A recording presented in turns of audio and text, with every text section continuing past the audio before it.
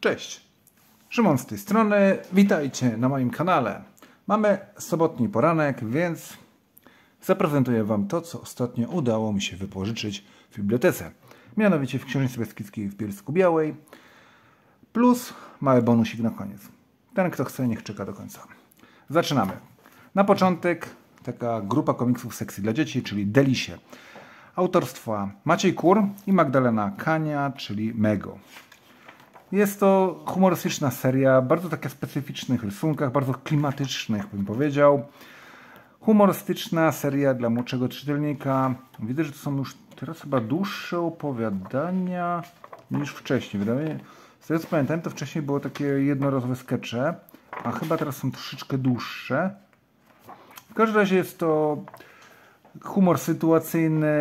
Główne bohaterki czy bohaterowie mają bohaterki mają ten e, imiona powiązane z czymś do jedzenia. Generalnie seria jest dość popularna poza granicami kraju. Mamy tutaj zapowiedź kolejnego tomu, Świątynia Aromy i bardzo fajną Emilkę Szam. Czyli sekcja dla dzieci. Tutaj mamy autorów Maciej Kur i Magdalena Mego Kania. Dobra, drugi komiks tej samej chwili, czyli sekcji dla dzieci, Kaczogród Karla Barsa. Pies Biskervillów to jest nawiązanie do tytułu jednej z powieści Sherlocka Holmesa. To jest kolejny tom cyklu. Tutaj z przodu macie wskazane, jakby kogoś interesowało, nie wiem czy to widać w kamerze, ile jeszcze zostało pogrubione, wydane. Te, które nie są pogrubione, czyli od, odtąd, to będziemy na nie czekać już niedługo. To nie bajka i inne historie z lat 60-61, listopad 2023. To są już lata, lata 60., czyli takie nowsze przygody autorstwa Karla Barksa, bo on zaczynał w latach 40., kończył w latach 90., bardzo długo tworzył. Klasyczne historyjki. Karl Barks jest twórca Sknerusa Makwacza. Często mamy właśnie tą postać, która się pojawia w tych opowieściach. Tutaj jeszcze istotna rzecz, czyli mamy przedmowę. I tutaj jest spis treści. Czy tym razem mamy, o, jednostronicówki i półstronicówki, czyli tym razem jest coś, co nie w każdym tomie się zdarza. Czyli długie historie, krótsze, jakieś obrazy, szkice. No i na koniec, to Wam jeszcze pokażę, kto jest kim w Kaczogrodzie. Tutaj mamy różne postacie, tym razem są malarze i rzeźbiarze. Czasem byli jacyś bankierzy, czasem bogacze, czasem sklepikarze, różni tacy. To jest taka, taki fajny dodatek. Tu mamy pokazane okładki który, wszystkich poprzednich tomów, w tym ten zapowiedziany na listopad, czyli to nie bajka. Dobra. Sekcja dla dzieci. Wszystkie tomy są dostępne. A propos tomów kolejnych, to mamy już Księgę Dziesiątą Czarodziejek Witch. Bardzo sympatyczna seria. Bardzo fajnie się to czyta. Ten tom jest chyba troszeczkę chudszy niż poprzedni. Tak, poprzedni był zdecydowanie grubszy. Klasyczny układ, czyli spis treści, kto jest, yy, kto jest kim, bardzo ważna rzecz, jakby się nie wiedziało, i wyspa wspomnień, czyli zaczynamy od razu od jakiegoś opowiadania. To jest ciekawe, że nie ma na razie żadnych takich odniesień, czy wspominek tego, jak to kiedyś było z Czarodziejkami Witch, jak wychodziły to w formie magazynu czy albumowym. Dobra, i tutaj mamy poprzednie tomy. Jeden, wszystkie dostępne są w sekcji dla dzieci Księżnicy Beskidzkiej w Bielsku Białej. Tu mamy zapowiedziany tom 11. Fajnie się to czyta, zaskakująco fajnie. I to by było, jeżeli chodzi o komiksy w sekcji dla dzieci z tego tygodnia. Teraz czas na prawdziwą bombę. I to dosłownie. Ogromny komiks od Kultury Gniewu, bomba Alcante Belair Rodier Jakie to jest wielkie. Scenariusz, rysunki, prolog, gigantyczny komiks offsetowy. Jeju, co to jest? Wow. Okej. Okay. Nieźle. Nieźle. Nieźle. No, widzę, że bardzo fajnie narysowany. Jeju. Pomysłowo. Słyszałem o tym komiksie bardzo, bardzo wiele dobrego i z chęcią się z nim zapoznam. O proszę, takie obrazki to wymagają mnóstwo pracy, takie kadry. Jest to bardzo gruby Potężny komiks w ogromnym formacie.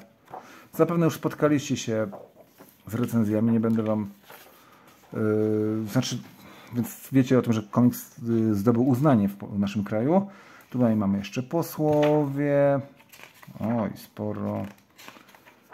Sporo. I jakaś bibliografia. Indeks nazwisk. I stopka redakcyjna.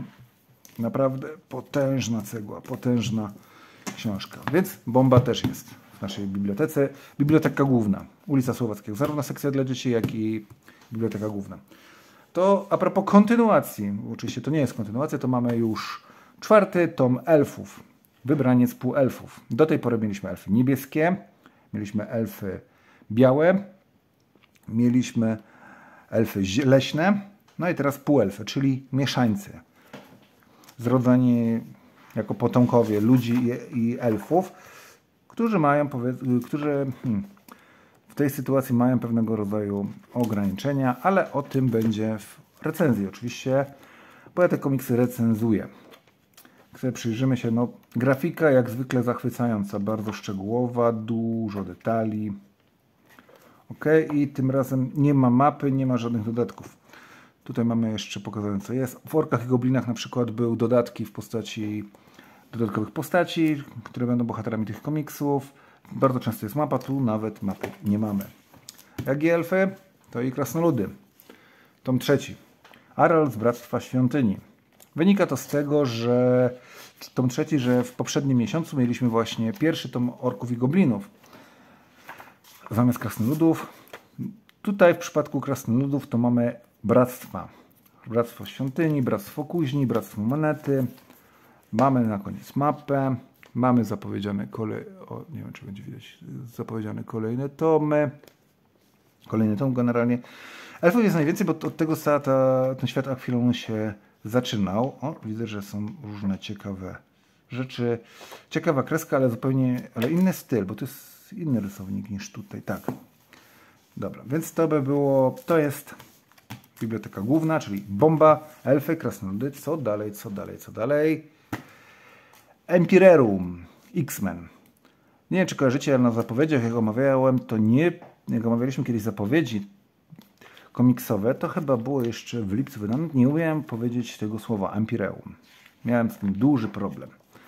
Na szczęście w końcu się nauczyłem i tutaj mamy w zasadzie to są chyba tajny, jakieś uzupełnienia do serii nie, to jest Empyreum X-Men po prostu miniseria czterozeszytowa która nawiązuje pewnie do tego głównego eventu, który został w Polsce wydany przez Egmont. Czemu nie ma tutaj okładki? Nie wiem, kiepski pomysł moim zdaniem. Dobra, scenariusz Jonathan Hickman, Tin, Tini Howard, Jerry Dugan, Benjamin Percy, Leigh Williams. -hmm, czy widzę, że jednak różne zeszyty, różni scenarzyści, różni rysownicy. No, zobaczymy. Nie przepadam za takim rozwiązaniem. Jeżeli mamy serię, lubię jak jest jeden zespół kreatywny, a jak mamy miniserię, to już w ogóle, jak za całość odpowiada ta sama ekipa, nie zmieniający się ludzie. Zobaczymy, no możliwe, że te style nie będą się jakoś drastycznie różnili, ale zobaczymy. Tutaj na końcu właśnie mówiłem, że brakuje mi tego, o właśnie, Empireum, okładki Empireum głównego eventu, ale za to jest zapowiedź Świt X X-Men, tom drugi to już jest. Czyli to. O właśnie. Ponieważ yy, mieliśmy najpierw ród x potęga x, później był świt x tom pierwszy i teraz mamy świt x tom drugi, czyli tutaj mamy dwójeczkę.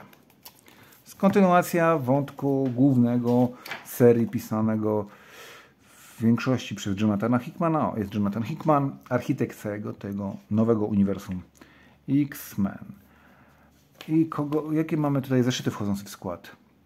X-Men 2019 od, X, od 8 do 11, Giant Size X-Men Nightcrawler, Magneto, Phantomex, Storm, ok, różne, różne takie pojedyncze one-shoty. Mamy bohaterów, bardzo fajnie, że są podzieleni, wskazani kto jest kim, czyli mamy pseudonim, nazwisko i podział funkcji, że tak określę. No i nam się zaczynają te historie. Czyli... O, i kolejna rzecz, która jest pozytywna, czyli mamy X-Men 8, czy okładkę, czyli wiemy w jakim zeszycie jesteśmy. Dobra, zobaczmy jak to przejrzyjmy, jak to wygląda mniej więcej. Styl raczej nowoczesny, współczesny i... Znaczy tak, mam wrażenie, że te rysunki idą coraz bardziej w kartunową stylistykę. Nie do końca mnie to przekonuje, ale no takie mamy czasy. Niektórym to takie coś bardziej odpowiada. Mi się wydaje, że lepsze były troszeczkę rysunki na początku lat 90. Znaczy lepsze. Inaczej. Tamten styl bardziej mi odpowiadał. No dobra, tu mamy Giant Size Storm i jakieś okładki alternatywne i zapowiedzi, można powiedzieć, czy tak samo mówię, Sheet X, raczej Root X, Potęga X, od tego trzeba zacząć, to jest najważniejsze. Nowi mutanci, Świat X tom pierwszy, czytałem, Empireum, mam tutaj wypożyczone, no, jesteśmy w świecie, w tomie drugim Światu X i Świat X Maruders, w październiku ma być premiera. O, właśnie taka okładka. Tu już nie będzie pisał Jonathan Hickman, ale Jerry Dugan, więc może być inaczej. I to jest tyle. To wypożyczyłem. Czyli całkiem sporą, w tym bomba gigantyczna. No a teraz taki mały bonusik, czyli to, co kupiłem na początek. Yy, seria Supermana. Superman Cynical Ella. Jak ja się czasem męczę przy tym odfoliowywaniu. Ech, kupiłem to w sklepie Gnom. Gdzieś miałem paragon, ale go zapomniałem pokazywać, więc... Dobra, odfoliowuję. Ok, jest. I taka ciekawostka, która tutaj może być związana, chociażby spójrzcie na ten hasło. Prawda, sprawiedliwość i lepszy świat. Truth, Justice, Better Tomorrow, czy lepsze jutro, to się zmieniło. Bo było Truth, Justice, American Way, czyli amerykański styl życia, ale to zmienili. Ostatnio okazały się Superman, o którym mówiłem, to jest taki punkt wyjścia, punkt wyjścia jest na moim kanale. Tutaj mamy koncentrację na przygodach Kalela, czyli Clarka Kenta, czyli Supermana. To będą przygody syna jego, czyli Jonathana. Tu mamy Flasha, tą pierwszy, powód Wolego Westa, Liga Sprawiedliwości Pryzmaty, Nightwing, Joker, Jokera nie czytałem, Nightwinga też jeszcze nie, oraz Przebudzenie, Superman syn Kal-Ela, tom drugi, nie wiadomo kiedy. I to jest ciekawostka, jest tu zapowiedziany tom drugi Supermana syna Kal-Ela, a w Action Comics nie było zapowiedzianego drugiego tomu. Dobra, za scenariusz odpowiada Tom Taylor, dość znany w Polsce scenarzysta. Pewnie z tyłu będą, oczywiście są biografie.